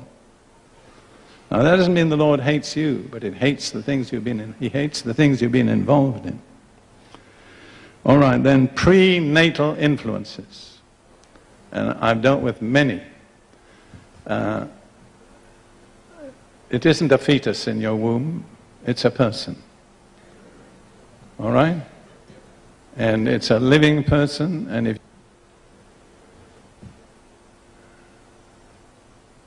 That's a solemn thought, isn't it? Well, I've discovered that babies are very unborn babies are very sensitive to what people feel and say about them. I, at one time in the United States, I was casting out a spirit of rejection from people in a certain age bracket. There were so many of them, I asked myself, when were they born? Approximately. And my wife Ruth was one of them. It was about 1929 to 1931. Now, you British people won't even know what that means, but for every American, it means the Great Depression. And they say that words with, with a certain feeling that you have to empathize with to understand what it meant. You understand what happened? Here's a mother, she's got five mouths to feed, and she doesn't have enough food, and along comes a sixth. She says, I wish I wasn't pregnant. That's all you need to say. That little thing in your womb feels rejected. My mother doesn't love me. It's born with a spirit of rejection. That is amazingly common. And such a person will tend to go through life saying, Nobody really loves me. I'm not important. I'm not wanted. I'm on the outside, looking in. Others can, I can't. You can be delivered. Then you'll know for the first time how much God really loves you. Because that spirit of rejection keeps telling you, God doesn't love me. He loves other people, but He doesn't love me. Then there's what I call soulish domination or manipulation by another person. This is a very common cause of demonic problems. I met a man, he's an evangelist, he's about 28 when I met him. He said, when I, since I left home, and that was before he's 20, he said, I phone my mother long distance wherever I am in the world every night. you know what happened to him? The umbilical cord was never cut. His mother has dominated him all through his life. And there are many strong men, bank presidents, sports heroes, politicians, who are dominated by a mother. God, thank God for mothers. But don't thank God for mothers who dominate. And not always the mother, it can be the father, it can be another person. It can be a minister, it can be a priest, it can be a dabbler in the occult. But if you are tied to another person, that's demonic. And you need to renounce that involvement and be set free. And for the first time in your life, you'll become a totally real person on your own. The next way they come in pressures in early childhood. James says, where envy and strife are, there are confusion and every evil work. In a home that's divided and torn by strife, there are all sorts of evil forces at work that a small child does not have power to keep out. And my personal observation is most demonic problems begin before the age of eight. Then there's the moment or the place of weakness. I worked once in Westbourne Grove with a Catholic doctor who was a real minister in his own way. He had his own house in Harley Street. I mean, he was a really successful doctor. But he would come where we were in Westbourne Grove, and he would come in and he'd say, Bring out your dead. And uh, we prayed for all sorts of people. And uh, he understood things I didn't understand at the time. He said, Remember, the devil chooses the weakest moment and the weakest place. I have never forgotten that. It's a profound truth. The weakest moment or the weakest place. And I want to look in 1 Peter chapter 3, a message for women, which can well be digested by men too. It says to Christian women, you are daughters of Sarah if you do well or do good and are not afraid with any terror. Did you ever hear that part? If you ever give way to sudden terror, you've lost your protection. And that has happened to thousands of people. I dealt with a woman once who the spirit of fear entered her because she was standing in a street and a horrible accident just took place in front of her. And in that moment of weakness, the Spirit entered her. I can't, I don't have time to go on. Sinful acts or habits. You can sin without a demon entering, but if you persist. All right, now where are we? How demons come in. I've got to do this very quickly. How are we doing for time? Just about nine o'clock, so. All right. I've got a special preacher's watch, you see.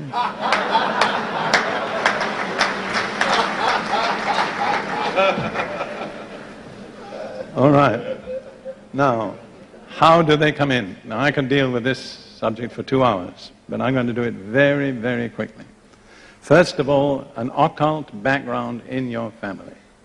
In Exodus 20, the Lord said, if you become a worshiper of idols or in the occult, I will visit it on the third and fourth generation. So a lot of people suffer demonic oppression because of what their ancestors did. And if you count it back, you have 30 possible ancestors that could involve you in the occult. How many of us can say for certain, I know none of my 30 ancestors were ever involved in the occult? Very few. So that's a possibility. Well, you say it's not fair. Well, you have to deal with God about that. He said, I will visit the iniquities of the fathers to the third and fourth generation. You know, one great reason why we need the ministry of deliverance is because Satan isn't fair. He oppresses people who don't deserve to be oppressed. We need to be able to help them. Then personal occult involvement. That's reason number two. And here is a remarkable passage in Deuteronomy. Deuteronomy chapter 18, verses 10 and following. There shall not be found among you anyone who makes his son or his daughter pass through the fire, that is, offering your child as a living sacrifice to the Lord to be burned on the altar of Moloch. Now notice the other things that are included with that in same verse. You might say, well, I'll never offer my child in sacrifice. But just let's look at the other things. Nor shall there be one who practices witchcraft, or a soothsayer, or one who interprets omens, or a sorcerer. Basically, those are different aspects of fortune telling.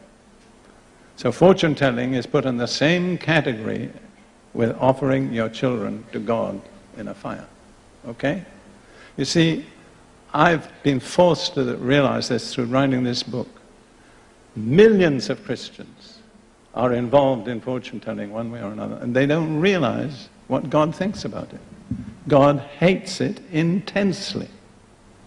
It doesn't mean He hates you, but He hates what you're doing. All right, or one who conjures spells, or a medium, or a spiritist. Those we'd all call spiritism or one who calls up the dead. All those are different aspects of Spiritism. As far as God's concerned, that's the same as offering your children to sa- in sacrifice through the fire. For all who do these things are abomination to the Lord. Did you hear that? All who do these things are abomination to the Lord. Now that doesn't mean the Lord hates you, but it hates the things you've been in, he hates the things you've been involved in. All right, then prenatal influences. And I've dealt with many. Uh, it isn't a fetus in your womb, it's a person. All right? And it's a living person, and if you get rid of that person, you've committed murder.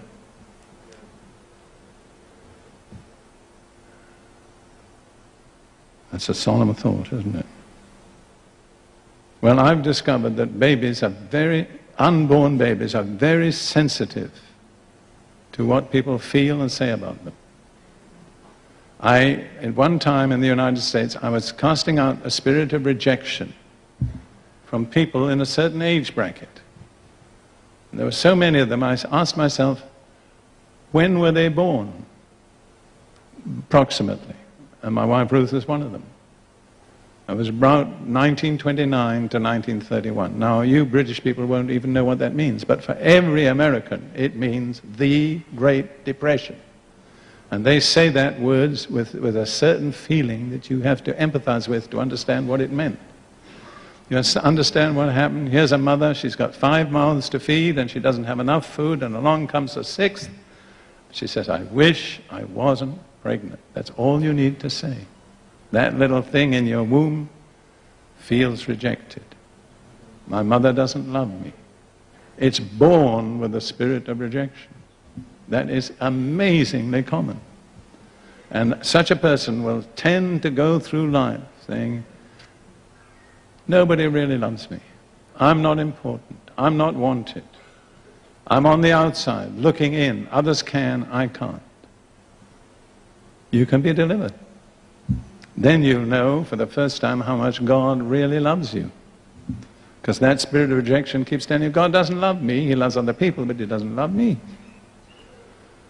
Then there's what I call soulish domination or manipulation by another person. This is a very common cause of demonic problems. I met a man, he's an evangelist, he's about 28 when I met him. He said, when I, since I left home, and that was before he's 20, he said, I phone my mother long distance wherever I am in the world every night. you know what happened to him? The umbilical cord was never cut. His mother has dominated him all through his life. And there are many strong men, bank presidents, sports heroes, politicians, who are dominated by a mother. God, thank God for mothers. But Don't thank God for mothers who dominate. And not always the mother, it can be the father, it can be another person. It can be a minister, it can be a priest, it can be a dabbler in the occult. But if you are tied to another person, that's demonic. And you need to renounce that involvement and be set free. And for the first time in your life, you'll become a totally real person on your own. The next way they come in pressures in early childhood. James says, where envy and strife are, there are confusion and every evil work. In a home that's divided and torn by strife, there are all sorts of evil forces at work that a small child does not have power to keep out. And my personal observation is most demonic problems begin before the age of eight. Then there's the moment or the place of weakness. I worked once in Westbourne Grove with a Catholic doctor who was a real minister in his own way. He had his own house in Harley Street. I mean, he was a really successful doctor. But he would come where we were in Westbourne Grove, and he would come in and he'd say, Bring out your dead. And uh, we prayed for all sorts of people. And uh, he understood things I didn't understand at the time. He said, Remember, the devil chooses the weakest moment and the weakest place. I have never forgotten that. It's a profound truth. The weakest moment or the weakest place. And I want to look in 1 Peter chapter 3, a message for women, which can well be digested by men too. It says to Christian women, You are daughters of Sarah if you do well or do good and are not afraid with any terror. Did you ever hear that part? If you ever give way to sudden terror, you've lost your protection. And that has happened to thousands of people. I dealt with a woman once who the spirit of fear entered her because she was standing in a street and a horrible accident just took place in front of her. And in that moment of weakness, the spirit entered her. I can't, I don't have time to go on. Sinful acts or habits. You can sin without a demon entering, but if you persistently sin, you can almost be sure the demon that corresponds to that sin will be in you. Also, some specific acts open the way to a demon. My friend Don Basham, who's now with the Lord, was praying for a woman once who needed to be delivered from a spirit of lust. So he commanded the spirit to come out of her, and the spirit said, I'm not coming out. She invited me in. So Don said, Well, when did she invite you in? When she went to that dirty sex movie. And Don knew, I mean, the spirit was right. You see, Satan is a legal expert. He knows when he's got a right. And that woman had to confess that sin and repent before she could be delivered. Finally, a person without self-control is like a city without its walls. Let me read that passage in Proverbs. Proverbs 25. This applies to almost all drug addicts. Proverbs 25, verse 28.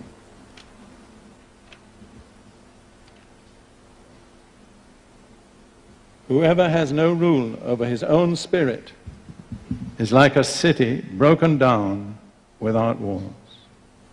So when you lose real control of yourself, your emotions, your appetites, your relationships, all your spiritual defenses are broken down. Almost any demon can walk in any time. Let me do that, do that once more, and then we're going to come to the most important question, which is how to be delivered. But let me just give these ways that they come in. Number one, an occult background. Number two, personal occult involvement. Number three, prenatal influences. Number four, soulish domination or manipulation by another person. Number five, pressures in early childhood. Number six, the moment or place of weakness. Number seven, sinful acts or habits. And then a general picture of a person whose walls are all broken down. Now, we come to the the the really important issue, which is how to get rid of them. If I didn't have that to tell you, I wouldn't bother telling you all the rest. Now, I can say without exaggeration, I have seen thousands of people delivered from demons. And they got delivered the way I'm going to tell you how to be delivered. You can be delivered tonight. But there are certain conditions you have to meet. Number one, you have to be humble.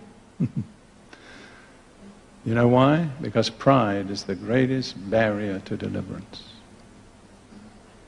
A, uh, a very sort of aristocratic southern lady in one of the southern states of America had been listening to my teaching and she said, Mr. Prince, if I understand you rightly, if I seek deliverance, I may end up screaming.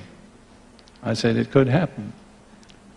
But she said, I was brought up that a lady doesn't scream in public. Well, I said, if you were in a river, drowning, and about to go down for the third time, and you thought there might be somebody on the bank who could save you, would you be too ladylike to scream? And that's all I needed to say. Number two, be honest. You see, you will not be honest if you're not humble. Call your problem by the right name. If it's lying, call it lying. Don't use some fancy psychiatric terminology to describe a filthy sin. Okay? Think of the worst name you can and call it that. Number three, confess your faith in Christ. Jesus is the high priest of our confession. If we make no confession, we have no high priest. If we confess our faith in him, we release him to act as our high priest. Number four, confess any known sin of your own or your ancestors, because your ancestors' sins can be the cause of your problem. You're not guilty because of their sins, but you're suffering because of their sin. And in order to be delivered, you need to confess their sins. If the Holy Spirit shows you your aunt was a Christian scientist, confess that sin. All right? Because that's the way to be delivered. You see, God is old fashioned. He still believes in confessing sin. It says in Proverbs 28:30, the next thing is repent. It's not enough to confess, you have to repent. Repent means accept personal responsibility. Say, I was the one that sinned. I'm sorry, Lord. I don't want to do it again. Forgive me. The Proverbs 28:13 says, "He who covers his sins will not prosper." And that applies to every one of you. If you go out of here covering your sins, you will not prosper. It will not be well with you. But whosoever confesses and forsakes them will have mercy. So the remedy is confess and forsake. Then you need to break with every contact with the occult. Renounce it. Confess it, renounce it. And if you have objects that relate you to the occult. Make a commitment to God to get rid of them. Burn them if you can. Bury them, do something with them. We had a young woman who'd been a Satanist. And uh, she came for deliverance and she was getting delivered, but she told us that she had a ring on her finger with which she'd been married to Satan. So we said, You have to take that ring off. She took it off, and the demon made her swallow it. But there was a young man there who had supernatural faith, and he commanded her to regurgitate it. And coughed it up. He picked up the ring and threw it in the lake. And then she was delivered. But before she could be delivered, she had to burn publicly every garment in which she'd ever worshipped Satan. The Bible says, hating even the garment spotted with the flesh. Break every contact, get rid of everything it may be very valuable. A woman said to me once, I've got all these occult books. She said, they're worth thousands of dollars. I said, how much is your soul worth? That's a question you have to answer. How much is my soul worth? Then you have to forgive all other people. Jesus said, if you stand praying and you have anything against anyone, forgive. That leaves out nothing and no one. If you forgive, God will forgive you. If you do not forgive, God will not forgive you. That's absolutely flat out. So you have to make up your mind.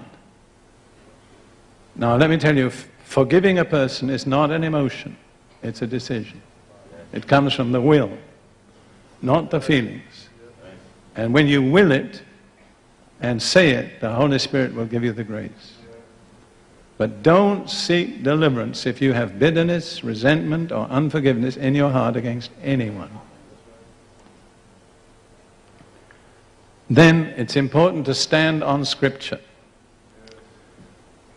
So I'll give you four scriptures, any of which you can stand on. Number one, my favorite, I think, Joel 2.32, Whosoever shall call on the name of the Lord shall be delivered. Luke 10:19 Jesus said I give you authority over all the power of Satan and nothing shall by any means hurt you. 1 John 3:8 says for this purpose the son of God was revealed that he might destroy the works of the evil one. And Colossians 1:13 says God has delivered us from the domain of darkness translated us into the kingdom of his son. Let me give you those without thinking. Whosoever shall call on the name of the Lord shall be delivered. Why don't we say that together? Let's say not whosoever, whoever. Whoever shall call on the name of the Lord shall be delivered. Amen. Jesus said, I give you authority over all the power of Satan. Nothing shall by any means hurt you. 1 John 3 8, for this purpose the Son of God was revealed that he might destroy the works of the evil one. Colossians 1:13 God has delivered us from the domain of darkness and translated us into the kingdom of the son of his love. Now, the way we're going to deal with this in a moment is I'm going to lead you in a prayer. If you want, you don't have to. And you, I'm going to say the words and you will say them after me. I'm putting the words in your mouth. So many people say, I want to pray, but I don't know what to pray. Well, I'll give you the words.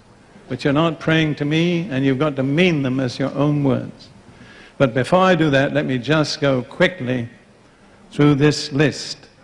Now, I know a lot of people get delivered without consciously doing all these things, but these are the scriptural bases. Number one, be humble. And remember, God says, humble yourself. God never promises to make us humble. Number two, be honest. Call a spade a spade and not an agricultural implement. Number three, confess your faith in Christ. And I'll give you the words. Lord Jesus Christ, I believe that you're the Son of God. You died on the cross for my sins and rose again from the dead. Confess any known sins of yourself or your ancestors. Now, when we come to that, I'll pause and give you time quietly to confess any specific sins that you need to confess. Number five, repent. Remember, repentance is a decision, like forgiveness. It's not a feeling, it's the will. Turning around, turning your back. Break with the occult. If you've been involved with any form of occult, just quietly say, Lord, I renounce whatever it was fortune telling. I can't think of any other things at the moment that's explained, but anyhow, renounce them. And if you've got things in your home, tell the Lord you'll get rid of them. Don't go out of here and go back to a home that's infested with demonic objects. Forgive everybody else. And again, I'll give a pause. I'll give you time to name quietly the people you specifically need to forgive. My pastor, my wife. It's usually the people closest to us. We don't have a problem with people at a distance.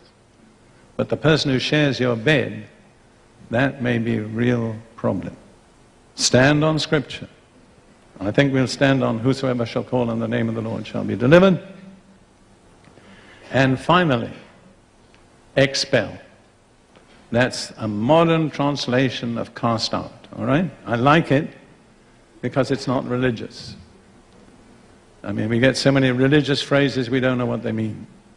But if you've inhaled something that you don't want, what do you do? You expel it or exhale it, like the little boy that blew out four times. Now, when you do that, what first comes out may be just natural human breath. But if you go on, sooner or later, something else will mingle with the breath. That's your enemy. That's what you've got to get out. Now, at that point, do not go on praying. And don't speak in tongues. Because while you're praying and speaking in tongues, you're holding the demon in. Be like the traffic in the street when the ambulance comes by. Get off to one side and let the ambulance off. Then you can go back to praying. Now, it may be that you need deliverance from many demons. That's all right. We're not in a hurry. If you're not in a hurry, we'll stay with you. Don't stop when the first one goes. Just go on as long as you need to get in, in rid of any of them. Now, I'm going to invite Don and Yinka to come and stand with me and my wife because I like some support at this point. Then, those of you, and it's entirely your own decision, those of you that feel you may need deliverance from an evil spirit, and you want to receive it here tonight, I want you to stand up, and then I will lead you in a prayer. If you feel you need deliverance, don't be embarrassed. Stand up.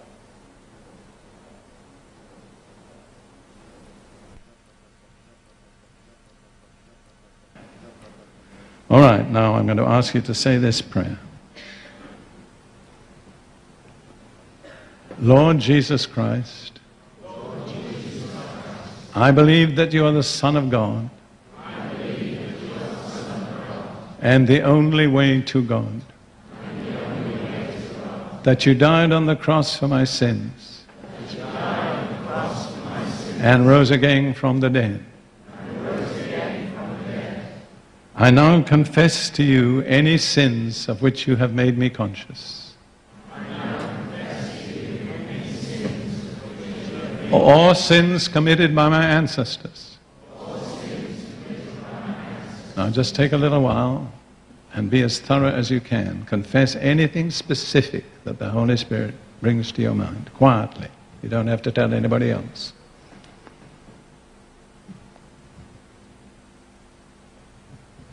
All right, now we're going on. The next thing is repentance. Lord, I repent of all sins I have ever committed. I hate them. and I turn from them. I turn to you, Lord Jesus, for mercy and forgiveness. If I have been involved with the occult, I repent and I renounce it and I sever myself from it through the blood of Jesus. If I have occult objects in my possession, I commit myself to get rid of them. Now, the next one is forgiving other people. Lord, I forgive any person who has ever harmed me or wronged me.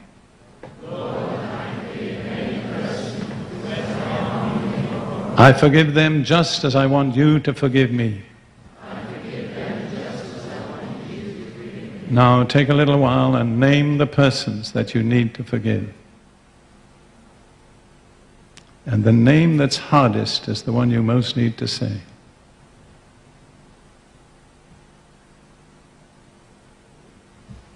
All right, we're going on. Lord, to the best of my ability, I've met your conditions.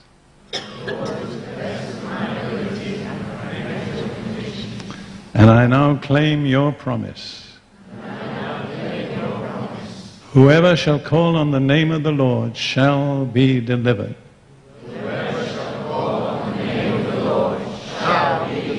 I'm calling on you now.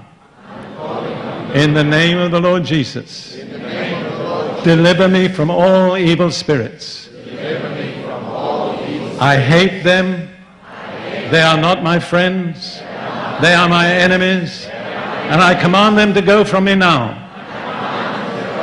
In the name of Jesus. Now you let them go, I'll command them to go. Don't go on praying, get rid of them. Now, in the name of the Lord Jesus Christ, under the authority of the leadership of this conference, I come against every evil spirit that has been renounced in the name of Jesus. I command you to come out, release them, go from them in the name of Jesus. Let them go. Let them go. You've been defeated by the blood of Jesus. You have been defeated by the blood of Jesus.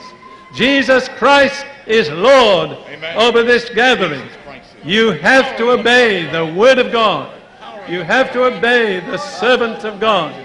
We stand against you, Satan, in the name of Jesus. All your demons, you have to go in Jesus' name.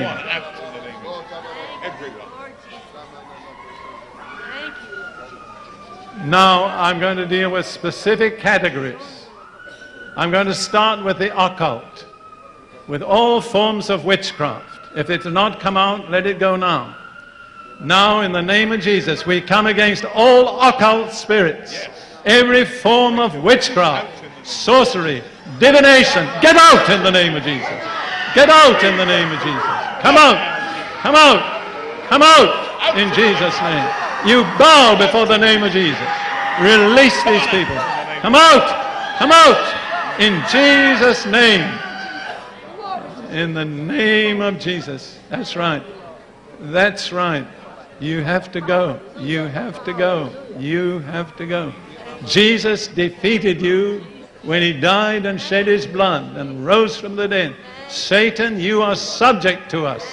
In the name of Jesus, every spirit of witchcraft, divination, sorcery, out in the name of Jesus. Go. Release these people. Will in a minute. Every spirit of false religion, out in the name of Jesus. You have to go. You have to go. In the name of Jesus. That's right. Then rebellion. There are many of you young people here tonight who have a spirit of rebellion. Come out. Go from them. In Jesus' name.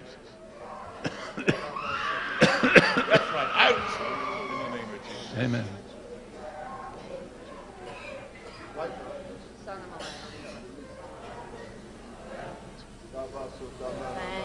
Now, every spirit of fear. Say this God has not given me a spirit of fear. God has not given me a spirit of fear. I renounce any spirit of fear. And I command it to go. In the name of Jesus. Let it go. Out. That's it. Out. Out. In the name of Jesus. All of you out. Out. In the name of Jesus.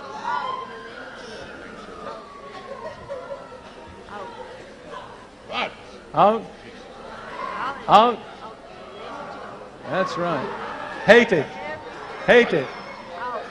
Hate it. It's not your friend. Every spirit of grief. Out. In the name of Jesus. Every spirit of loneliness, depression, rejection. Come out. Every spirit of suicide, come out. name. In the name of Jesus.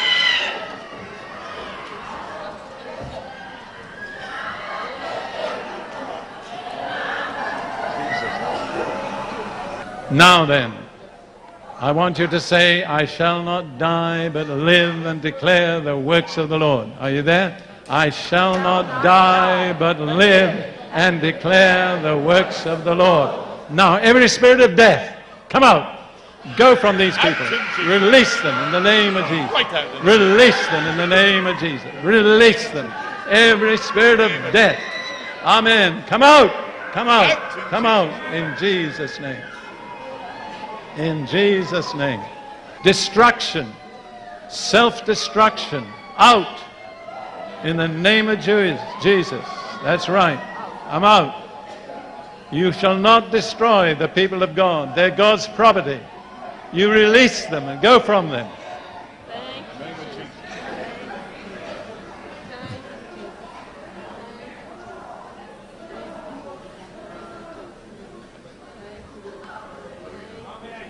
All right. Now we're going to deal with resentment and all the ones that go with that. Every spirit of resentment, come out. Every spirit of resentment, in the name of Jesus, release these people. Go from them. In Jesus' name.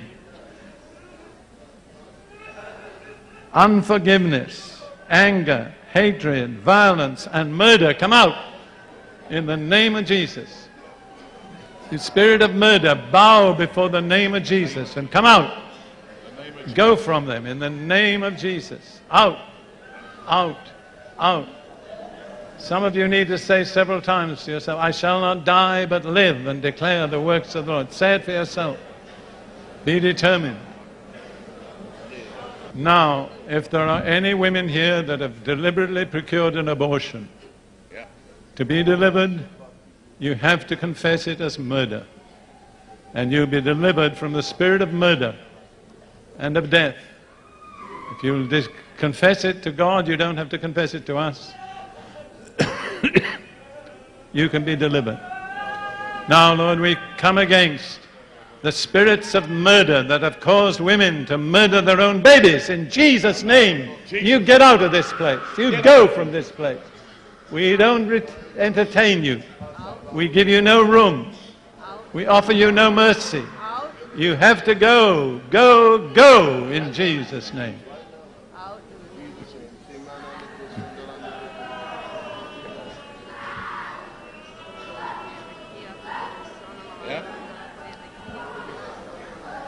Now we're going to deal with the negative emotions. Disappointment. You, any spirit of disappointment here, we break your hold over the people of God in Jesus' name. L- loneliness, misery, depression, self destruction, out. Especially depression. Come out, depression. Loose them in the name of Jesus. Loose them in the name of Jesus. There's many spirits of depression here tonight. Out. You go in Jesus' name. You release the people of God.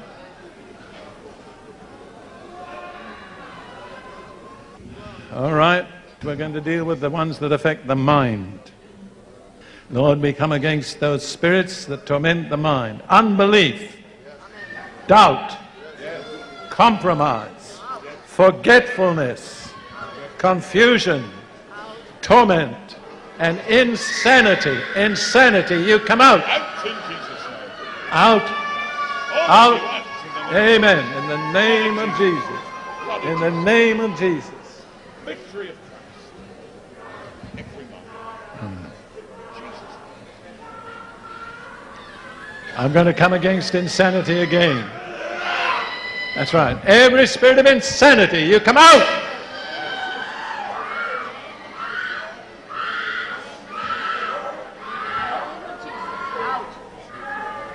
Now, God has shown me there's a witch here tonight. I'm not going to point you out, but this is your last opportunity. If you don't renounce your trade as a witch tonight, you'll perish forever in hell.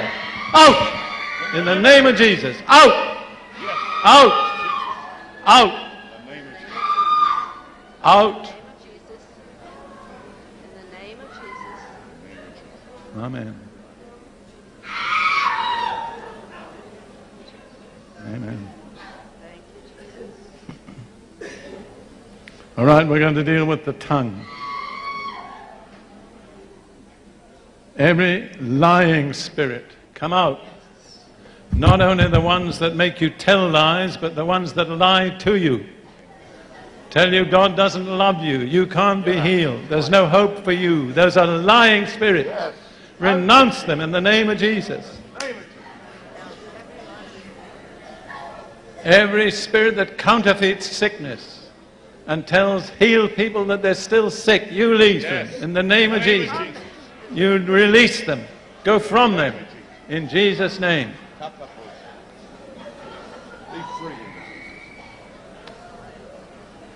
Every spirit of cursing and blasphemy out in the name of Jesus. And every church going spirit of gossip and criticism, come out. Humble yourself and acknowledge you're a gossip, you're a talebearer. God hates talebearing. There's no place for you in heaven unless you renounce it and get delivered from it. God hates those who sow discord between brethren. You need to repent. You're very religious, but you're also very wicked.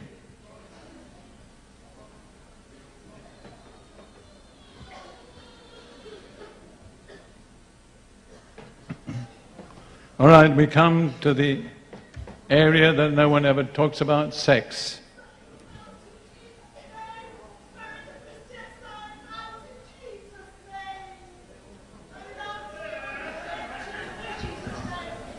All right, we're, we're going on with our program.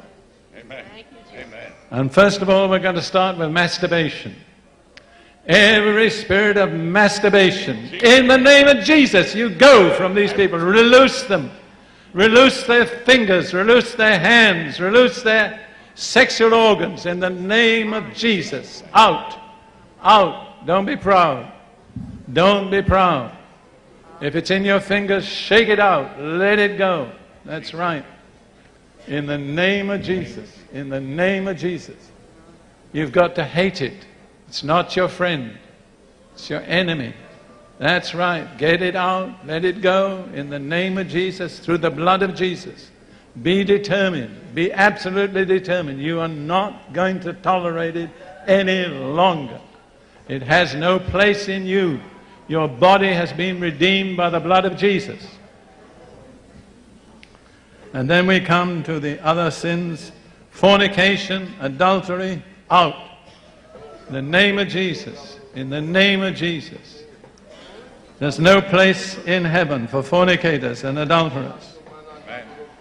Every spirit of homosexuality, Yes. Out. Come against it. in the name of Jesus, out. Out. In the name of Jesus, you go, you go, you go. Break your power. Ah. Amen. Amen.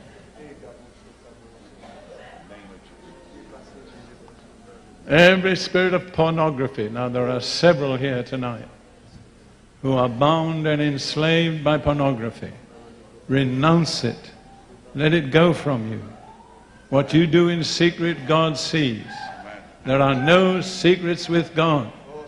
Some of you are churchgoers, but you're pornography viewers. Out! Out in the name of Renounce it. Renounce it. In the name of Jesus. Amen. What about taking a few moments to thank God for what He's done? Amen. Thank you, Lord. Thank you, Lord.